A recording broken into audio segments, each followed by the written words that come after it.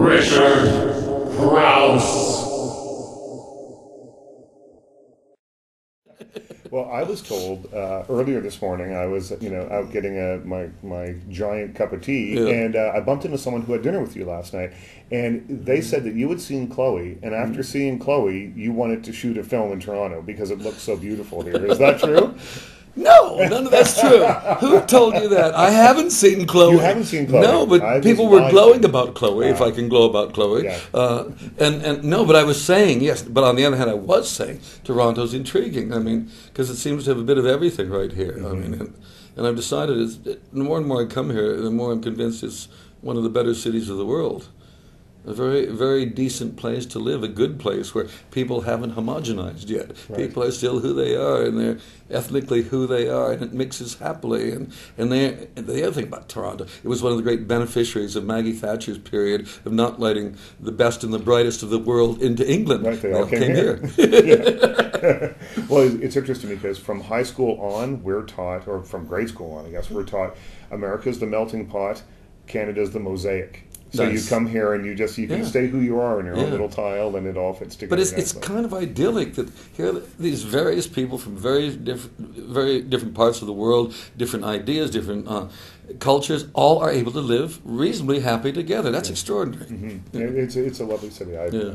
I've made my home here for thirty years. I love it. um, back to the movie. Um, uh, tell me a little bit about uh, where the idea came from for the film because it is such a flight of fancy, and I, I, I was I was really taken with the movie, and it's interesting. I'll tell you a little secret that maybe I shouldn't tell you. When I saw it, uh, one of the reels was projected out of Oh, yes, order. no, I know that You know that, and and uh, so I've since gone back to see it a second time.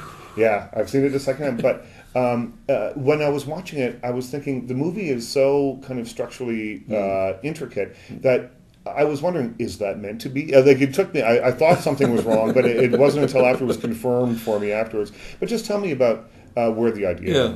Well, it's, it's funny. First of all, the structure intricate. I just think it's really banal. The structure Really? of the thing. Personally, I don't understand. People say this, and I don't quite know what they're talking about. But to me, the, the story flows quite simply. Uh, but now the idea was first this idea that was this traveling show, this traveling theater.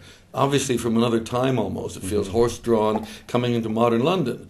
And the idea, there's this little troupe wanting to entertain, wanting to expand your, your, your, your ideas of the world, your imagination, and nobody's paying attention. That Yeah. was where it began.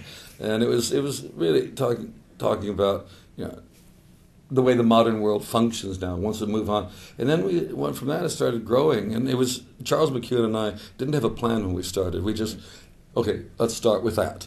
And then little by little, it started growing. And soon, if you go through the Imaginarium and your imagination is uh, allowed to flower, well, that's fine, but there has to be a choice somewhere in here. We Yeah, can't just let It's you do what you want. Yeah. yeah. And once you've got choice, we got, ah, a devil who's offering, offering one, and Parnassus is uh, offering another possibility, and, and that's how. And then we, then you know, we went into basically a fairy tale format with a man who's given his daughter to the the devil uh, for.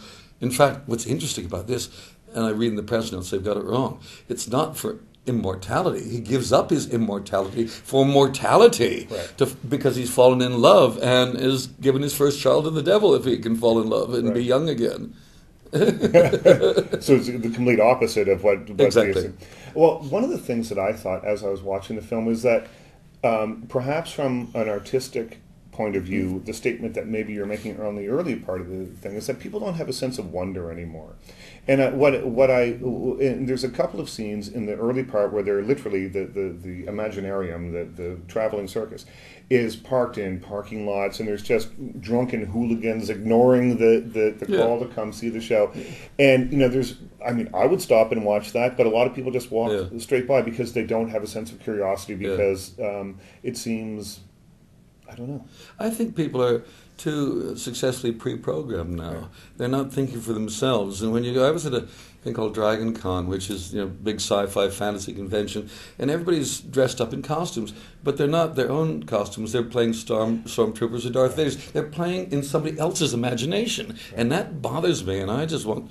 Uh, yes, when you use the word wonder, that is great.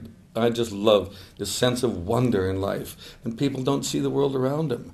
And, and that's what this was about. I mean, shoppers ignore them, you know, Yeah. drunks ignore them. Actually, drunks don't. Drunks know they can beat up somebody. Well, they and try to get into a fight with Yeah, them, they can be aggressive. They can destroy something beautiful. Yeah. That's That's what I'm Terry. Thank Oh, you so great. much. It's Thanks. lovely to Thanks see you again. again. Yeah, thank you. how's Richard Crouse.